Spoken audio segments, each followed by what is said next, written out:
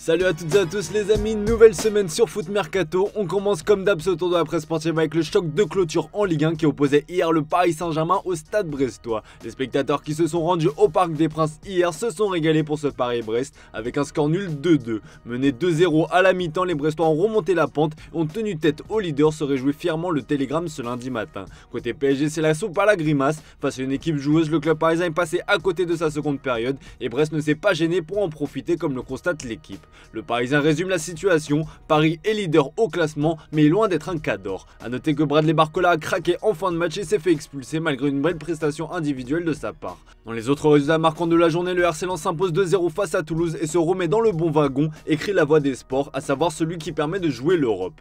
8ème, les 100 ne sont plus qu'à 5 points de Monaco, 4ème. Enfin, le Havre accroche un nul spectaculaire 3 partout face à Lorient. Comme le relaye l'équipe dans ses pages intérieures, le héros se nomme André Ayou. Revenu d'une élimination précoce à la le Ghanéen a permis au sien d'arracher le nul grâce à un doublé dont un sublime retourné acrobatique. Je vous invite à aller mater le replay si vous avez loupé ça. Petit détour par la Côte d'Ivoire pour parler de la suite des huitièmes de finale de la Cannes un nouveau favori au sacre est tombé hier. L'Egypte et la République démocratique du Congo n'ont pas réussi à se départager dans le temps réglementaire. 1-1 après prolongation. C'est au terme d'une séance de tir au but insoutenable que le Congo est sorti vainqueur. L'Egypte dehors placarde l'équipe dans ses pages intérieures. Mohamed Salah n'aura donc pas besoin de précipiter son retour puisque sa nation sort dès les huitièmes de finale. Héros de l'Egypte il y a deux ans, le gardien Gabaski a perdu sa magie comme le relais TV5 Monde. Ce dernier a envoyé son tir sur la barre. C'est le gardien adverse qui a offert la qualification au sien. Un peu avant dans la soirée, la Guinée a battu 1-0 la Guinée équatoriale grâce à Mohamed Bayo dans le temps additionnel comme le relais le Figaro Sport. Une tête rageuse dans les dernières secondes du match. La République du Congo défiera la Guinée en quart de finale.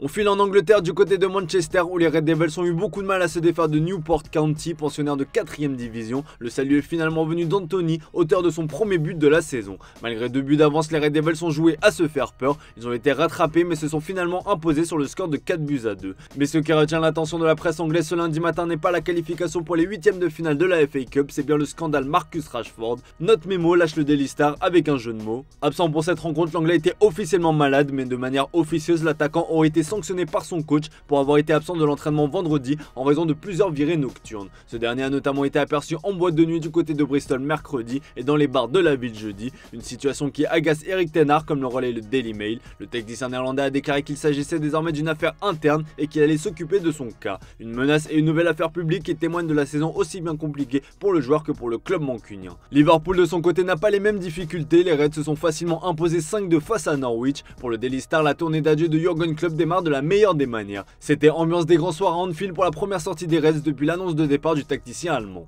Direction l'Espagne où la bataille pour la Liga fait rage comme le placard de le journal Marca ce lundi matin. Le mano à mano entre le Real Madrid et Girona continue. Le club catalan a repris le fauteuil de leader après sa victoire 1-0 face au Celta de Vigo. Le journal a à l'honneur le buteur Porto qui redonne le leadership à Girona. Les hommes de Michel se remettent la tête à l'endroit quelques jours après l'élimination surprise en quart de finale de Coupe du Roi. A noter que les Madrilènes sont derrière à un point avec un match de retard. Derrière l'Atlético de Madrid rafle la troisième place au Barça battu à Villarreal ce week-end. Les Colchoneros se sont imposés 2-0 face à Valence comme le relais sous part déporté. Tout semble rouler pour les hommes de Diego Simeone, que ce soit la paire Griezmann-Morata ou Griezmann de paille, l'attaque des Madrilènes se porte bien. Le néerlandais retrouve petit à petit son niveau et enchaîne un deuxième but en deux matchs. Au classement, il a quand même un sacré écart de 10 points entre le Real deuxième et son voisin de l'Atleti. Juste derrière quatrième à égalité, on retrouve le FC Barcelone qui va devoir faire attention à l'Atleti qui revient fort. Mais en ce moment, ce n'est pas vraiment la priorité puisque l'annonce de départ de Xavi a eu l'effet d'une bombe. Désormais, le club catalan travaille d'arrache-pied pour lui trouver un successeur. Le casting post-Xavi a débuté comme le placard Le Mundo Deportivo sur sa une.